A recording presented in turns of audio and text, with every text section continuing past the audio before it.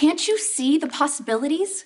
Magazine covers, festival circuits, the Academy Awards. Okay, Maxie, let's bring it back down to earth for a second. Dream big or go home. This is the chance of a lifetime, Lulu. You just need to take it. Well, if you're so into the idea, Maxie, why don't you star in Dillon's movie? Excusez-moi. Uh, Lulu, can I have a word with you for just Oh, no, what is to discuss? Maxie, why don't you try acting in the film? But I didn't even say anything about myself. Do you know how rare that is? I don't see what the problem is. Dillon hasn't been able to find the right actress for the role, and if you think that playing Marjorie is the opportunity of a lifetime, put your money where your mouth is and audition. So I guess more. The mayor's not happy that we didn't have enough to hold Ric for Silas Clay's murder.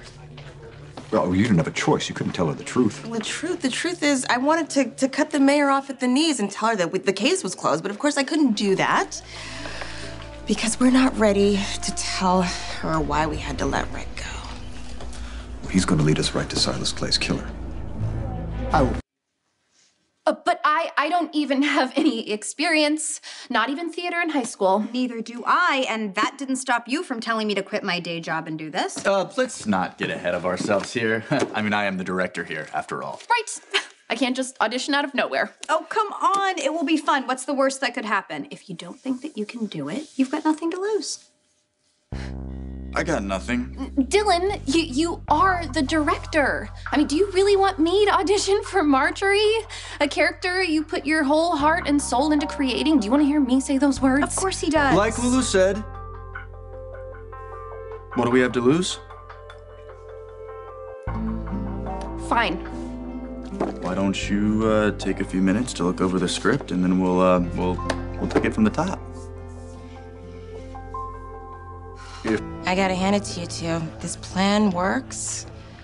Not only will Silas Clay's killer be brought to justice, we'll have earned enough enough goodwill in the public to just, you know, force Lomax to just back off for a bit, for a few months.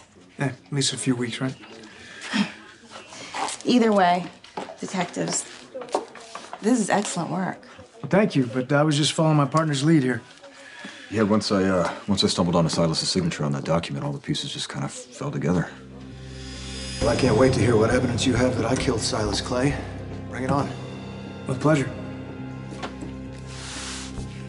You familiar with this document? You know I am, Nathan. So are you. Can you identify it?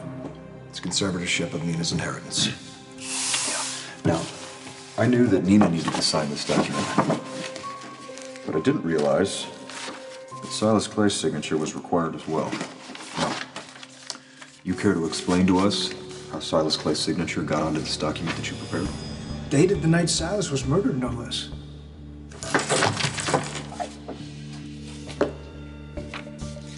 I- I've never seen this page or this this signature before in my life. Ric, are you okay? You look a little, little weird. Yeah, he does look a little weird. What do you think that is, Dante? You think that's because he's lying? No, you know, I don't. I think it's actually because he's telling the truth for the first time in his life. I've never seen this. No, no, this this page was not in the document that I prepared. If you want us to buy that, you're gonna have to play ball. Lucky for us, Ric made the right decision. So, you want to tell me what that was all about?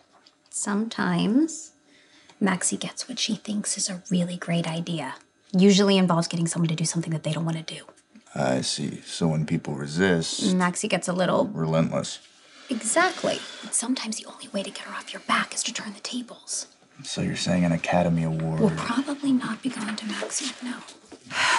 Dillon, this script, it's it's really good. Thanks. Yeah, I mean, it's a little heavy, but uh, you actually care what happens to those losers You think they're losers? in a relatable sort of way. Welcome to independent film. Okay, let's um, let's get this audition going.